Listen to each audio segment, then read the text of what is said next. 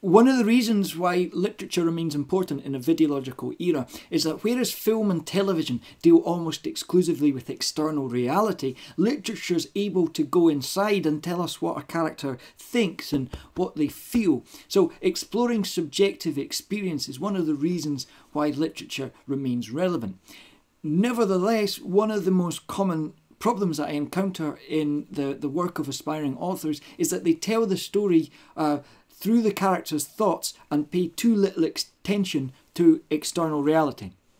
Um, when you think about it, right, uh, in a lot of prison systems, the ultimate punishment is solitary confinement, to be locked alone with your thoughts and an absence of external stimulus.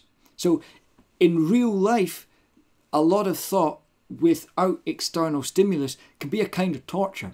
Uh, and, and it can be problematic from a storytelling perspective as well. Consider this paragraph, for instance.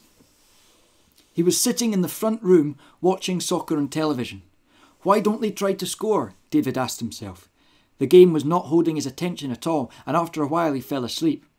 He was awoken by that surly guy who lived nearby, Petrus. God, thought David, as Petrus watched the game. Why does he have to turn it up so loud? Petrus started talking away and David wished he'd be quiet. It's so annoying when someone comes into your front room and natters away. It's one of those things like when you run for a bus and it pulls away at the last second. Just really annoying. David's mind started to wander and he thought about maybe getting up and doing the dishes. He had always liked football and had played it when he was younger, but now he wasn't enjoying it as much as he used to. He started to daydream about a time when he scored a great goal when he was younger reading that is like the literary equivalent of being locked in solitary confinement. Uh, the, the balance is all wrong. It's all in the protagonist's head, and there's not enough concrete detail. There's not enough attention paid to the external world. Now compare that version to this extract from J.M. Coetzee's Disgrace. Although Coetzee is writing in the third person subjective point of view and has access to David Lurie's thoughts, nevertheless he concentrates on the external facts. He is sitting in the front room watching soccer on television. The score is nil all. Neither team seems interested in winning. The commentary alternates between Sotho and Xhosa, languages of which he understands not a word. He turns the sound down to a murmur. Saturday afternoon in South Africa, a time consecrated to men and their pleasures. He nods off.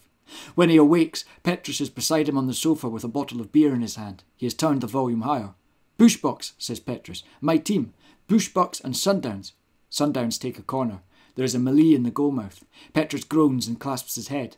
When the dust clears, the Bushbucks goalkeeper is lying on the ground with the ball under his chest. He is good, he is good, says Petrus. He is a good goalkeeper. They must keep him.